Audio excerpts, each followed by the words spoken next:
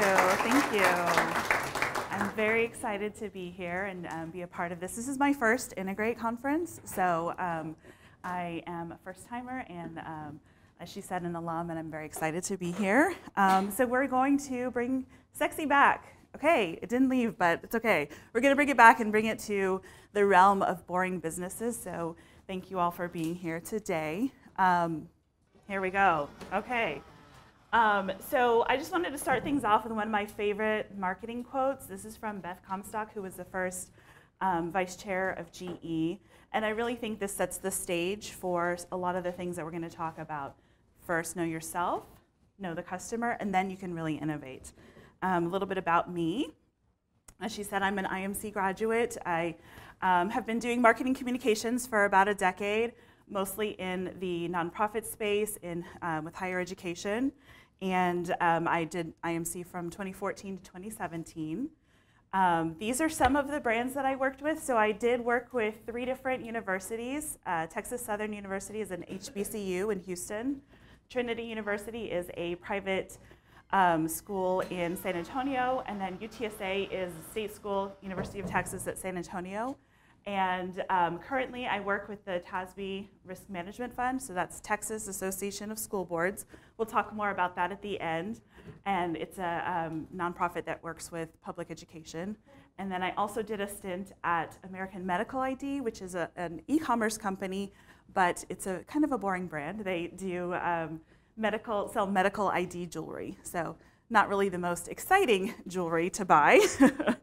um, so that's kind of where the, the impetus for this presentation came from is from my own experience working with these brands. Um, when you think about, let's see if it'll go silent, nope. Um, there we go.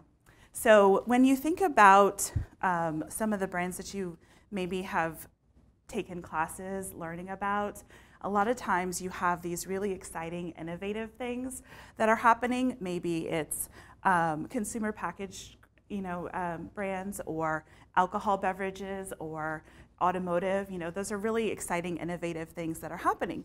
And then you graduate and you work for the real world. And sure, a lot of us will work for those brands, but a lot of us also we're going to go into insurance or um, financial services or things like that. So you really have to think how can I take those exciting, um, creative processes that I learned about and apply them to my, my daily job. So that's kind of where I'm going here. I'm going to move my bag because I'm going to keep tripping over it. So, in class, um, a lot of the brands that I worked with or that we talked about were the big box stores, you know, Home Depot. We talked about Netflix being a disruptor in its market we talked about Walt Disney, Coca-Cola, those really strong brands that um, you are, are well known for the different marketing and, and communications that they did.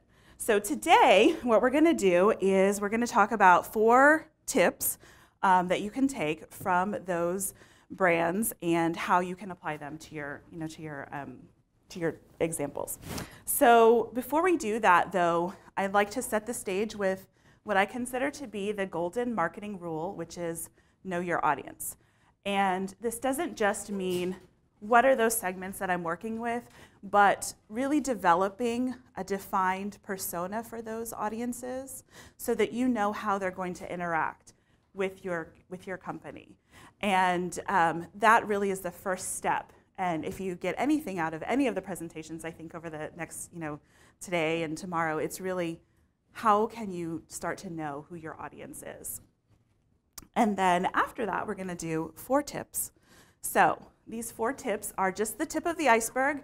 It's not an exhaustive list by any means, but I think in a 45 minute to an hour presentation, I don't want to overwhelm you with um, examples. So we're going to start with these four.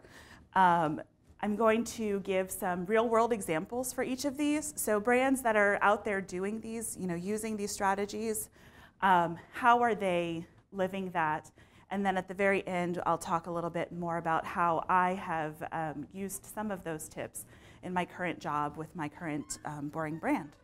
So, first tip is use a spokesperson. So, one of the challenges that you think about when you think of boring brands is okay, I have this product or I have this service, and I need to connect with someone over that. Well, people don't really like to connect over, products and services. People connect with other people. So, a really quick and easy way to get your brand associated with someone else is use a spokesperson. And the two types of spokespersons that I'm going to talk about are um, a real life influencer or a fictitious character. So there's pros and cons for both of them. For a real life influencer, that can be a celebrity that you hire, that you, you know, go out and find who is a good person who um, has an audience that I want to reach. Or it can be someone who's not necessarily a celebrity, but maybe an influencer in that field. So who has you know, access to the audience that you want your brand to reach, and how can you partner with them? And some of the great things about that, obviously, you can capitalize on their audience. You get that instant access to that, that audience. Um, but there are some risks. You can, of course, if it is a celebrity, there's going to be costs associated with that. And you have to think about that, incorporating that into your budget every year. Um, the other major risk that you're going to have is what if they do something wrong? what if that person does something morally, ethically, legally that's adverse, you know, or uh, counter to what you want your brand um, experience to be? That is automatically going to be associated with your brand. So I'm not going to mention names, but you automatically think, okay, I know who those who those examples are where that has gone wrong, and then you have to then backpedal and try and you know disconnect that um, your brand from that person that you spent so much effort putting building up. Um, the other example would be if you created a character for your brand um, that is a spokesperson. So one of the really great things about that is if you're creating a character, that character is never going to do something that your brand doesn't want um, because it's fictitious. The, the downside to that is if you have uh, multiple campaigns that use that same character, maybe the character kind of takes over and it, you kind of lose the, the message. You know, maybe the, the people end up knowing more about the, the character than they do about your brand. So it can be a little overwhelming. The insurance industry uses spokespersons a lot. So the ones that come to mind, you think of Flo from Progressive. Um, Gecko or Geico has the Gecko, and then Allstate has two that we're going to talk about um, and I'm going to um, get this little video here for you. Um, the first one is the Allstate voice, and you probably have um, heard this.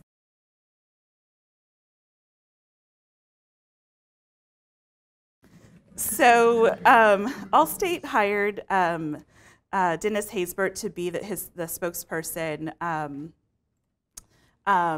and he, let me go back into this. So he, oh, okay, it's still playing. no, that's their other spokesperson there, is the, um, the Mayhem guy. Um, so, technical stuff. Okay, so Dennis Haysbert was hired by Allstate, um, and in the beginning, they used him as a traditional spokesperson. He's an actor, and so he was featured in the ads. Um, but over time, they've kind of transitioned him into just being the voice, and he has such a distinct voice that you hear it, you know that's Allstate. So it's it's kind of a, a morphing spokesperson role. Um, I read an article just last week where they said um, Allstate has a new CMO, and she, um, in advance of her coming on board this month, they are thinking of transitioning him into a more prominent role again, Dennis Haysbert, um, as a spokes, traditional spokesperson. So we might see more ads with him uh, where you see him, not just hear his voice. The other um, spokesperson that they have is this character, so they do both. You know, they have the, um, the hired person, and then they have Mayhem. And um, I love this character because, again, it's something that Allstate has created. And unlike Flo from Progressive, though, um, he is a um, he's a foil to the services that Allstate provides. So instead of being a representation of insurance services, he's really this kind of anti-hero. So any type of um, um, risk that you might think of, you can create a mayhem character about that. So it's really adaptable to a bunch of different scenarios. And it can play against. So, okay, you've got this anti hero with mayhem. Well, don't worry, Allstate can come in and provide that reassurance that you're covered. Um, the other thing is that he is adaptable. So this is just a little Twitter one that they've created. The most recent campaign that they have is related to risks that you might have at your wedding. So he's there's a bunch of Facebook videos I've seen where mayhem is like the aunt who wants to be in all the pictures, you know, like all, of those things that, you know, the fears that you may have as a bride um, about all the things that could go wrong with your wedding. So I don't know exactly what the coverage there would be, but in any case, there, there's, um, there is uh, that. The second tip is kind of follows in that same vein of having a character or a spokesperson. So if you don't want to create a character or go and work with an outside person, think about who the most um, uh, vocal uh, spokesperson would be for your company, and that's going to be satisfied customers. So you want to think about who are the people who are already using your services or products and what um, stories they may have to tell. And one of the um, examples that I really like comes from um, a Texas brand, and it's a USAA. So they're uh, a financial and insurance um, services company, and their brand is they, they serve military and veteran families. And so they started off, USAA was United Services Automobile, Automobile Association, so they did um, auto insurance, but they have the full suite of products that they sell. And they do a really good job of taking their brand, which is very military focused, connecting it to their current customers who are military families and making that connection there. So um, we're going to show another, another video um, before. Actually, are we going to do that next? No, we're going to talk about social proof. So um, one of the things that you, so brands make a lot of promises, right? Like we say, we're the best at this. We're the best at this. Um, believe us, we're the best. But how do consumers really know that what you're saying as a brand is the truth? Well, as a consumer, you turn to the people that you really trust. And that's the concept of social proof. So how are how can we validate those claims that brands are making to us? And there's a couple different ways that you can do that. Social proof can come in the form of data and numbers. So an example of that would be, it's an old example, but the McDonald's marquee, 1 million hamburgers sold. So that's an example like, okay, we're so awesome because so many people are buying our hamburgers. Um, so what are those data points that you can, that you can share with your con consumers? Icons or badges, this can be like the consumer reports, third-party validation saying like, okay, we have the seal of approval from this trusted um, company who has rated us this way, though using those icons or badges to show that. Customer testimonials, that's another, um, we're gonna talk, you know, we're gonna show an example of that. It can be a short quote that you display on your website or in social posts or things like that, or you can use their full-blown story in an ad, which is what USAA does quite a bit, actually. Case studies um, in the B2B space, working with a client who's completed a project with you. So maybe you are a website development, development company and you have a really uh, successful project that you've completed, creating a case study around that using the collaborative um, feedback from the, the client to showcase how, you, how well you did the work to show that um, customer. And then, of course, reviews. Everybody knows Amazon reviews are awesome to read, both from a um, uh, customer testimonial perspective, but then also they've developed into this own, um, their own kind of weird like marketing you know, perspective where people use them to um, rate positively or negatively, you know, um, products that, that you want to share. Um, and the great thing about reviews is that 85% of consumers are going to trust those reviews as much as someone that they know. So they're going, consumers are going to go online and maybe they're researching a phone or some product that, yeah, they can get those feed, that feedback from their, um, their uh, peers, but they're also going to be validating that recommendation from strangers in the form of reviews. And another statistic, I thought this one was really interesting. So 59% of people believe other people, like themselves, are extremely valid, um, credible sources of information about brands. And sure, that's a really striking number on its own, but when you think about the other sources, so that number ties with um, academic experts. So 59% of people believe that um, academic experts are also trusted sources. And it's only one point below technical experts. So 60% of people look to technical experts as a trusted source. So when you compare technical experts, academic experts with just everyday people, people are really putting a lot of trust and value in what their peers are saying about brands. So that's kind of interesting and it make, makes you think, okay, well, you don't necessarily have to use a technical or academic expert. You can just use the power of everyday people's words.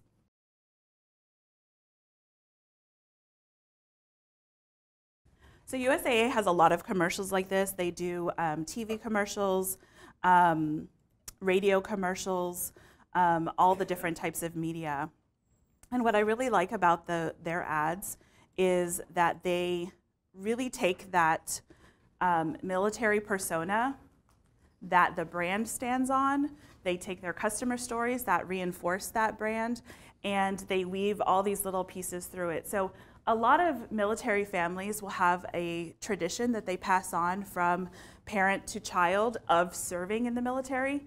And so USAA really captures that and they pull that into um, a piece that they will communicate, which is members for life. And you can take your membership in USAA and pass it on to your children. So they really um, take that idea of tradition and really weave it through. Um, so that's part of their customer story is that, that, you, that military tradition. And I really love them. Plus, they're San Antonio, which is where I'm from. um, so, tip number three is taking your company culture and really using that. So, a lot of the, um, one of the um, complaints that I hear from people who work in boring brands is okay, I, my company is all about being the best service provider with a friendly professional brand, and that doesn't work on social media. That doesn't work with those really cool, innovative marketing techniques that I see other brands doing. Well, stop thinking about it as this, you know, conflict. Really take your company culture and think about ways that you can inf infuse all of your marketing with that. You know, really take that as, you know, the voice rather than trying to make it fit with something that doesn't work. So we're going to talk a little bit about how that might work. And um, some of the, the ways that you can think about your brand are going to be based on these types of things. So geography. Um, I'm from Texas. So using Texas in marketing is a really, really easy way to say, hey, we're from here and we know the community that we're working with.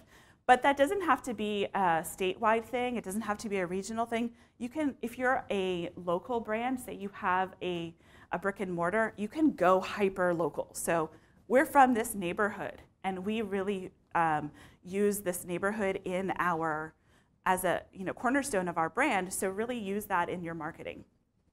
Say you um, are marketing to a subculture. Um, one of the things that I'm thinking about could be like a real estate company that works with first-time buyers. You know, obviously you can use a lot of marketing themed around the you know the real estate thing, but really honing in on first-time experience and what that might look like, using that in your marketing industry specific terminology, one that really um, jumps out at me is as marketers, we get a lot of marketing to us. So HubSpot, you know, what are the types of things that they're using? Or Marketo, what are the types of language that they put into their marketing pieces to us that signal, hey, we're one of the group. We know what you're talking about. We know the things that you're facing on a day-to-day basis, that um, the challenges that you face what are those key words that, um, that your subculture or your you know, small group is uh, using that you can kind of take from it and, and you know, spout back out to them to show that you're part of that group. Okay, let's see. My favorite brand of all time, HEB. So in Texas, there is this brand. Okay, so who has been to Texas or is from Texas? All right. Anybody from Texas? All right. Yes. Where are you from? From Houston. I live in Austin. Awesome. So you know HEB. you, lo- you probably love HEB. so in Texas, there is a grocery store chain, and it's called HEB. And it's a family-owned company, and it is um, it was started in the Hill Country, Central Texas, and it's a very regional company. So it has been around for over 100 years. Um, and it probably could have grown really large, but they, they've kind of tempered that and they stay regional. So it's not even pervasive throughout the state. So if you go up to Dallas and the Panhandle, there's fewer HEBs there than you know in the Austin, San Antonio, Houston even has a, a little bit more um, competition. They're not as um, the market isn't as saturated there with HEB. There's still other um, grocery stores. HEB really lives up the Texas component of their brand. And um, so I'm going to ask you before I play this video, for those who have, you know, maybe um, not as much experience with Texas, what are some of the things, and just shout them out, what are the, some of the things that come to mind when you think Texas? Cowboys, Cowboys deserts, okay. What else? Big hair. Oh, that's a good one. Dallas, for sure. what else? Huh? Oil, yes. What else? Don't mess with Texas. That is a great one. I love that. That was a campaign. A lot of people think this is about preserving the Texas brand, but that campaign was um, a keep Texas beautiful type of thing, you know, not littering. That's an anti littering campaign. It's one of my favorite ones, yeah. But who knows? We just we just adopt it and use it for everything. What else? Anything else? Longhorns, yeah. Big and bold. Big and bold, yeah. Horses, yes. I have never ridden a horse. it's never too late. As a Texan, maybe I shouldn't say that. I also don't like guacamole, which is I know, I know, I know. But I do love queso, so, you know, and tacos. So, um, okay, I'm going to play this video real quick.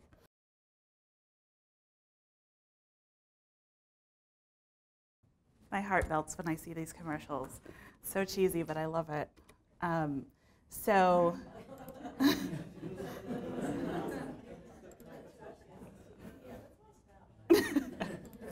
we're not going to just spend all day watching YouTube videos, people. um, so, one of the things that I really love about this commercial is that the driver is wearing a cowboy hat. And one of the things that people from outside of Texas maybe think that that's a negative stereotype that, oh my gosh, I can't believe they did that. But it's actually true. Like, yes, not everybody wears a cowboy hat. I don't have a cowboy hat, but it's really not uncommon to see random people wearing cowboy hats in things in areas that you wouldn't think. Like, oh, he's driving his truck, and you know he would never do that. That's totally unrealistic, but it's actually realistic. and so it's little things like that that HEB really knows. Like, okay, yes, we can put our truck driver in a cowboy hat in this spot, and people are not going to think like, oh, that's unrealistic. The fact that he talks about Texas families, people in Texas really do take ownership of the fact that we live in Texas. We're very proud of the fact that Texas was its own country before joining the Union. And so we, we, we believe like we're Texas first, you know? I did not mean to say that. Texas first. Um, the other thing that I really love about these spots, or I know, right? Delete that from the recording. Um, so one of the things that I really love about these spots is their use of the aisle markers at the very end. So they, you know, none of this, none of the other references except for when he's making the delivery to the store, none of it is showing like the grocery store experience. It's all about the family, the Texas environment, those beautiful landscapes. Um, the the bridge there is an Austin Bridge. Um, some of the generic ones that maybe anybody from anywhere Texas is going to be like, oh yeah, I recognize that, or that looks like my hometown. So then they use the aisle markers to remind you, hey, this is about your grocery store. And it's a grocery store where not only can you go there to find all of the things that you really need, but know that we're here for you. We're here to support the community. And HEB as a company does a really good job of delivering on that. Um, so they are, are very present in the community. They sponsor um, scholarships for students, educational grants. Last year when we had Hurricane Harvey come through, HEB was there with their products and services just like the Red Cross was, making sure that families had food and water and all of those supplies. So um, this is one of the ways that HEB really takes the, um, the Texas identity and celebrates it. So I mentioned that uh, Texas was a country before joining. We celebrate Texas Independence Day, uh, March 2nd. So there's a lot of rodeos that happen um, around that time. And so Texas, or HEB, created a whole um, Tex Fest where they're celebrating that. So it's really not uncommon to see Texas shaped products in um, college, in undergrad. I would often eat at the little, um, eat breakfast at the little um, coffee shop that we had on campus, and we had Texas shaped waffles. And they are better. they, taste, they taste better because they're shaped like my state. Um, there's uh, Texas shaped tortilla chips. There's a lot of Texas products that HEB sells, Texas sourced. They work with you know, local um, farmers and agriculture.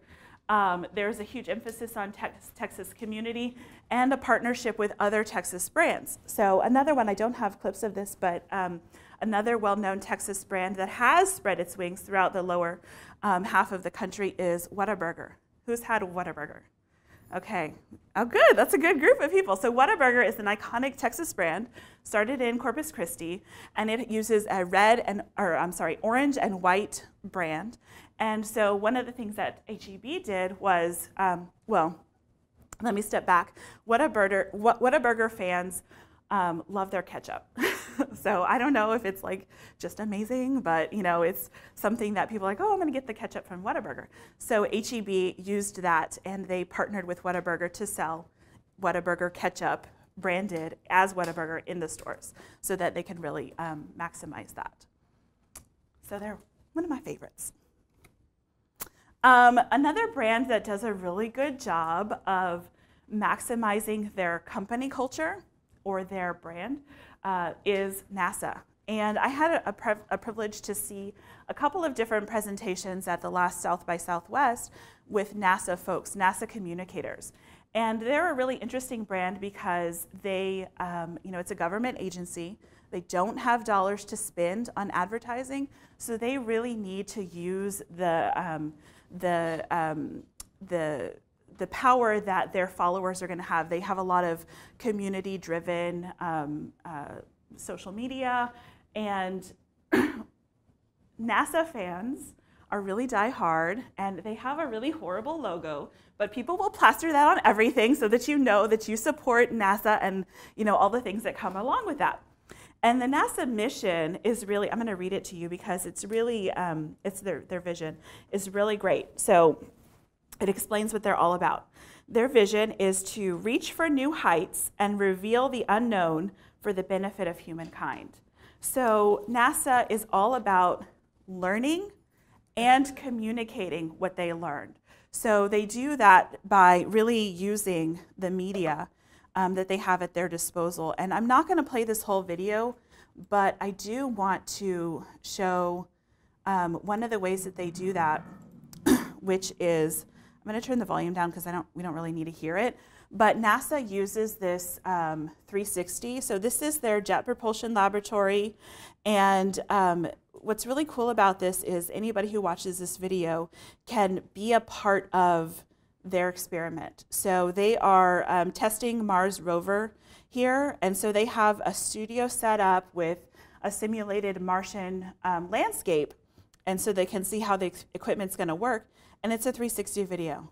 So you can scroll. You can be a part of um, whatever this guy's doing with his computer in the back, using their little apples. You can scroll around. You can um, see the whole environment here. And um, here we go. They embed different uh, little um, information tips. They have videos embedded within the video, and they have uh, it's on mute right now, but they have a narrator who go, walks you through things, explains what the visual simulations are, so that you can really get the full experience.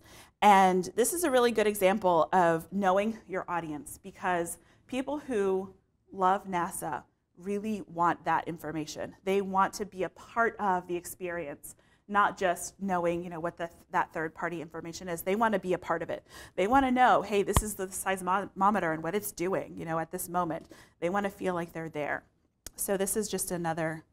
They have a lot of these 360 videos. They do a 360 video for um, their launch days when they are launching new probes and um, satellites and things so that you can be in the you know in the control room there and see it from their experience so that's just another way um, that nasa really kind of maximizes that's the last video so we don't have to do this back and forth thing anymore um, the other thing that nasa does here we go is they use social media so i'm going to actually read this um, Instagram post that they had. This was back from um, May of this year. So, all eyes are on Jupiter. Eye emoji. Our NASA Juno spacecraft captured this image of Jupiter's southern hemisphere on the outbound leg of a close flyby of the gas giant planet. It's called a gas giant planet because its atmosphere is mostly made up of hydrogen gas and helium gas, like the sun. This color enhanced image was taken on May 24th as the spacecraft per performed its 13th close flyby of Jupiter. At the time, Juno was about 44,300 miles, 71,400 kilometers, from the planet's cloud tops, above the southern latitude of 71 degrees. Since July 4th, 2016, when Juno spacecraft successfully entered the orbit of Jupiter, we have been peering below a dense cover of clouds to answer the questions about the gas giant and the origins of our solar system. Then they credit who the photo was from, and then here's their gamut of hashtags. NASA, hashtag space, hashtag Juno, hashtag Jupiter, hashtag gas giant, hashtag planet, hashtag clouds, hashtag swirling, hashtag solar system, hashtag science, hashtag spacecraft, hashtag picture of the day. So what I love about this, and if you follow NASA on Instagram, you'll see a lot of this type of thing. They understand their audience who is craving that information, and they understand the user on Instagram. So they plaster their Instagram with beautiful, breathtaking images, and then they make sure that they beef it up with that really detailed information about what they're showing. So you not only get the experience of seeing it, you get the experience of learning a little bit more about it, maybe more than most people on Instagram would want to know. You know, that it was at 71 latitude, you know, that it was taken on this date, and that it was this distance away from the planet. Then they make sure that they use the maximum number of hashtags that they can, because that's what you're going to get on Instagram. They use their eye emojis and they use hashtags that show both the content and the, um, you know, the experience. So it's hashtag, you know, the, the swirling pattern, hashtag picture of the day so that they really get a cross section. Um, and so I think that NASA does a really good job of captivating um, their audience and using that, um, doubling down on their company culture, which is a nerd, which is awesome. Our last tip is Show your customers what they're paying for, and hint, it is not the product that you're selling. It is not the service that you're selling. What you really want to do is take it to that next level. Show them what the vision is that you have for their future. So you go beyond how you're solving their problems. You really want to show your customers what is the world in which they're living and how their life is better because you're a part of it. And so that takes you maybe to a different level. Um, it takes a little bit of thinking about what is, you know, your, you know, what is your company going to provide them. Um, and so this quote really from, from uh, Linda Boff, who's the CMO of General Electric, um, kind of gives you an insight into how they're doing that. Um, GE is not just about light, it's not just about um, appliances. GE really is trying to change the way that people are innovating and using technology and imagination. So that kind of um, takes you beyond just the product and the service that they're offering. And the way that they do that, the way that GE sells innovation, they partner with tech companies. So where they maybe um, don't have the full um, the full resources on house, they go outside. So they've been working most recently with Apple and Amazon and some of those other tech companies um, to to really kind of leverage that. And they were an early adopter and a heavy user of social media in a way that um, maybe doesn't come naturally if you're a you know a B2B or a brand that you know is really kind of pushing beyond just that consumer um, experience. And they also want people to think about how their product or service is going to impact the end use. So I have a couple of examples here um, to show. One is their Snapchat. And I really, really love this, this solstice one. So it, this one really is like the best um, crossroads here between GE thinking about light and the ultimate source of light, which is the sun. So, you know, celebrating the solstice and just, you know, using the platform for what it really is, which is fun and exciting and, you know, kind of goofy. And um, the other side over there is that they're really showing again that people connect with other people. So they're showing their um, their engineers. They have a lot of uh, videos about showing what an engineer or a developer really looks like and getting that face of the, of the company in front of their audience. They also use uh, Pinterest, which I thought was really cool. I have just screenshots of two different of their boards. The top one is called Lighting the World. And if you really think back to GE and the, their experience with light, this is a really good example of that because who knows who, which light bulb brand those all these lights are, but it really takes you to that different level where you can experience, okay, what is it like to, to be in this environment where you see those beautiful lights? So they have a bunch of different examples of um, lights throughout the world. Some are inside, some are outside, some are really fancy chandeliers, some are more uh, practical, like uh, stadium lighting, those different types of experiences that light provides. Um, the bottom one is a little bit borderline vision. You know, it's a, maybe a little bit more practical. But what I like about it is the, the Pinterest audience, there's a lot of um, home renovations and home uh, remodeling, decoration, that type of thing. So the Fabulous Kitchens is showing the GE products and services, but also kind of putting this this um, this forward thinking, like, okay, well, what could my kitchen be like? What could my life be like if I was using these GE products? All right.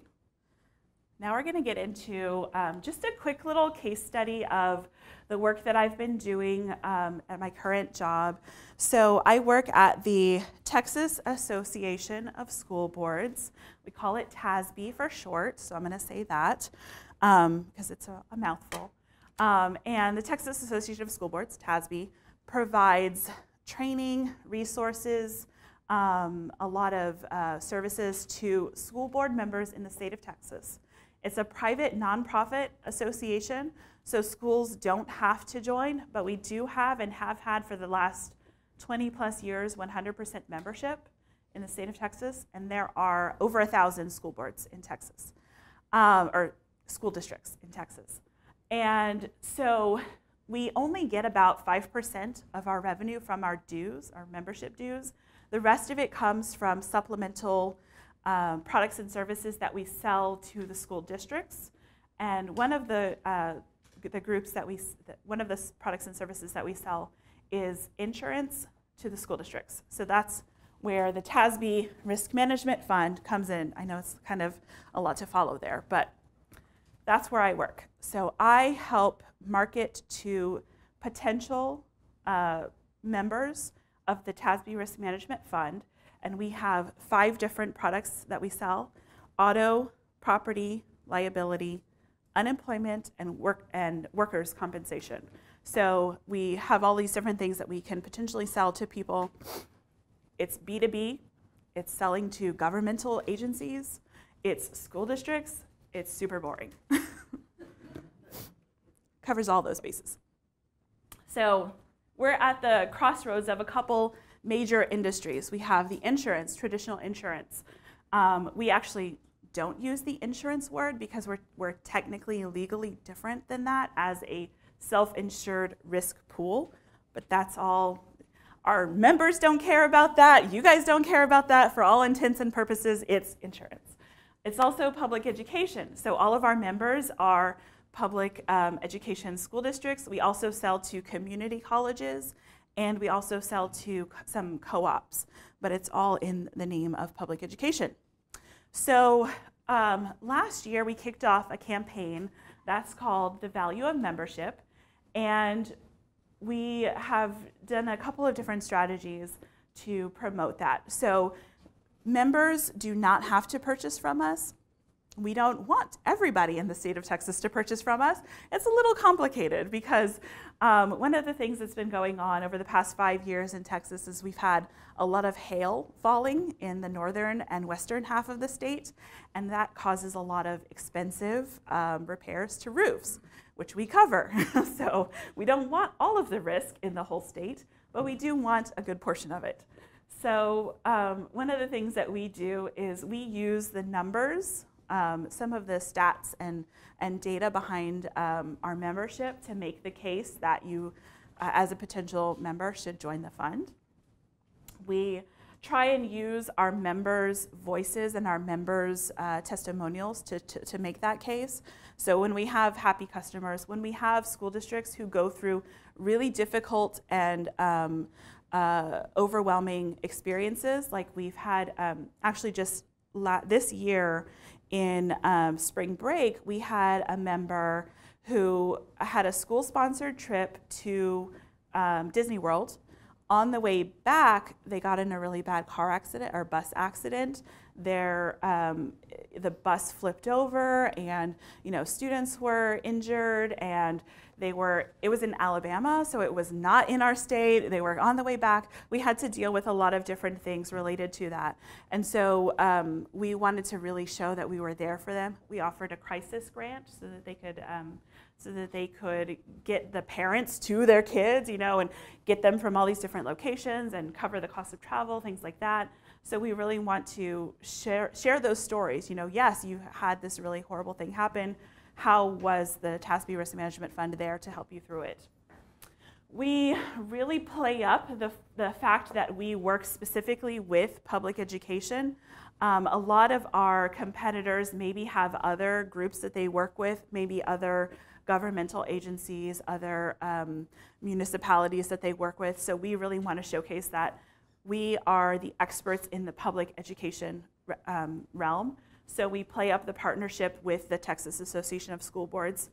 It's a really complicated um, partnership there. It's TAS, the TASB Risk Management Fund is a separate entity, so we kind of um, we have to show that we're connected. We have all that access, but we're also different. Um, and then we also we go beyond just talking about insurance services because that's not something that is really going to get people to purchase from us. We want to show that at the end of the day, we are supporting happy, healthy, safe learning environments for Texas students. So we use a lot of imagery that's related to that. We don't show business um, interactions because that's not you know, the vision that we're wanting to show. We're showing a lot of happy students, like I showed in that first picture, um, running and, and excited to, to go to school, which we all are. Um, so these are just some snapshots of some of the ads that we've done. Going back to our, this morning's presentation about diversity inclusion, Texas students are extremely diverse. We have, um, I think it was like, I, am going to screw up the numbers, I'm not even going to try. But we always make sure that we have um, different ethnicities shown, um, a variety of different types of students, different ages, that type of thing, because it really reflects the actual students that our, our members are, are you know, um, have in their classes. So these are some of the stats that we use. We've been around for more than 40 years. Um, the TASB Risk Management Fund was actually created in 1974 because of a law that mandated that Texas schools needed to offer workers' compensation insurance, and traditional carriers did not want to carry that risk. So the, the TASB created its own pool, and so we've been around for more than 40 years. We have five programs, and we're very happy to say that over the past five years, we've had at least 99% member satisfaction. They love us, so we share that number a lot. um, this year, we even though we've been around and our initial program was workers' compensation, that actually is the smallest um, volume program that we have. So we were really trying to push that this year. And we get a lot of third party data from the Texas Department of Insurance, Texas Workforce Commission, all of those other agencies that can show that working with the um, TASB Risk Management Fund saves them money and gets their employees back to work quicker, which in turn saves them more money, which is what our schools are really looking for because the, their budgets are very tight. So we use a lot of communications about, you know, uh, the cost savings, the time savings. They have a lot of different jobs that they're doing. So these, again, we have um, some imagery around that, playing up the, again, even with the middle one, you know, the ad return to work rate, we're showing chalk. A lot of these um, have a gray chalkboardy look to them. So even if we are not talking specifically about schools, we're kind of implying it. So even on the far left one with the stethoscope, it kind of fits with that, um, that look. These are a couple of quotes that we got from members. Actually, the, the one on the left, the insurance is never something you want to deal with. That one is um, from a member who works at a school district, and it was unsolicited. So we really look for those opportunities where, where all of those uh, moments where members are highlighting the positive experience they've had with us we want to capture those and then you know share them out again.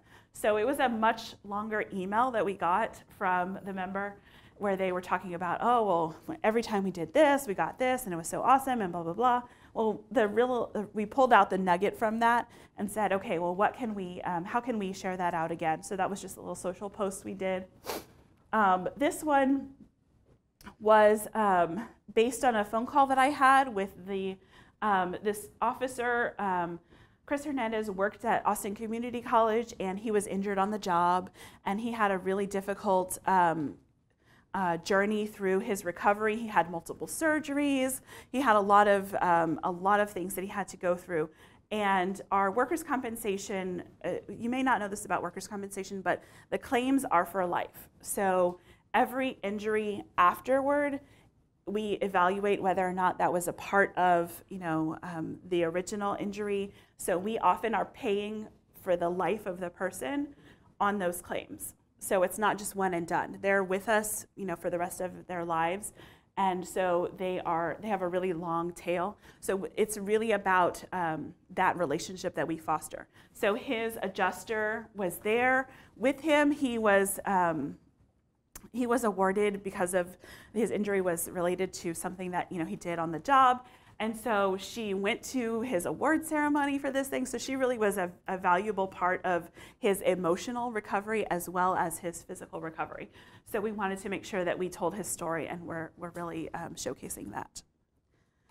Um, again like i said we really play up the identity that's related to school districts. So that's the tasb logo. That's um, pretty well known throughout the Texas um, public school um, arena. And then the, on the right here are just some icons that we use both in print and on our website. And um, we're starting to put them in a bunch of different places so that people recognize, hey, you know, these are related to school districts. Um, PowerPoints, sales material, all of that stuff. And the final piece that I'll show is every year we do an annual report and this is mostly internal. It goes to our board, which is a 19 member board that runs the, the fund. And it shows how well we did over the year, what's our financial statement, all the stuff that's in a traditional annual report. Well, instead of showcasing um, imagery that's related to, you know, the products and services that we offer, we again try to infuse it with the, the happy children who are learning. And this one was a kind of a space theme this year, uh, member focused, mission driven, the double entendre there with a mission. Um, and so we have these kind of happy space themed kids throughout. And um, all of the imagery is again showing that, reinforcing that, that at the end of the day, we're here for the kids. So we're going to recap our tips in case you didn't write them down before. You can write them down now. Number one, use a spokesperson. That could be internal, um, it could be an influencer, it can be a created fictional character. Tell your customer stories because they're going to be the most authentic, um, real, valuable um, stories that you can tell. Double down on your company culture. If you have a weird, unique um, characteristic about your company, use that. That's going to be the most, um, that's going to be something that people really tag onto. Um, and then show your customers what they're paying for. And again, it's not your product or service, it's that vision that you have for them. And that's it. That's me. And if you need to find me, you can find me there. Questions? that's it. Thank you.